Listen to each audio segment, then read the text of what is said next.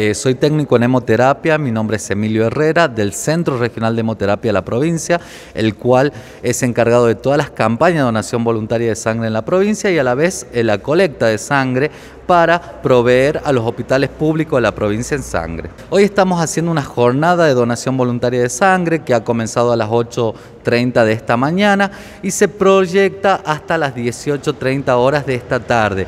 En el Zoom del barrio 23 de agosto estamos trabajando eh, con nuestra campaña, ya hay vecinos que se sumaron, donantes voluntarios de sangre que también se sumaron a donar sangre eh, en esta jornada, así que bueno, invitando a toda la comunidad a que se sigan sumando, que hay un, extenso eh, horario para poder salvar vidas. Bueno, los requisitos son muy sencillos, ser mayor de edad de 18 a 65 años, poseer un buen estado de salud en el momento de la donación, no estar tomando medicación, eh, haber descansado bien la noche anterior, si, se, si fuman, no haber fumado dos horas antes y con respecto a las bebidas alcohólicas, no haber bebido alcohol las 24 horas antes. Si son mujeres, no estar en periodo de lactancia o embarazadas haber descansado bien y si se almuerza durante la tarde, se esperan un par de horas, dos horitas y se puede venir a donar sangre. No es necesario estar en ayunas o con un ayuno prolongado para donar sangre. Cuando se procede al acto de donación de sangre, se llena una entrevista médica que consta una serie de preguntas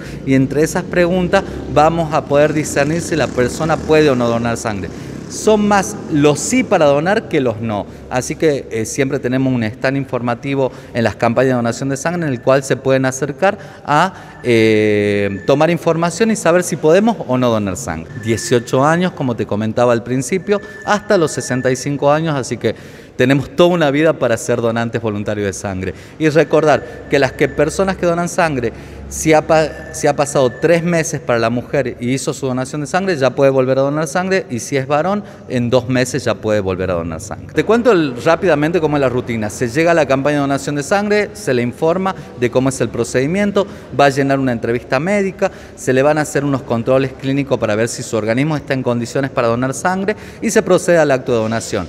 Todo este proceso dura alrededor de 30 minutos como mucho y eh, la extracción en sí de sangre, que es el casi medio litro de sangre que extraemos a las personas que están en condiciones de donar sangre, dura alrededor de 7 a 10 minutos. es un proceso muy rápido, muy bien cuidado. A continuación de la donación es beber más líquido de lo habitual, se pueda comer eh, lo que desea la persona, solamente no fumar dos horas después de la donación y no beber alcohol dos o tres horas después de la donación de sangre.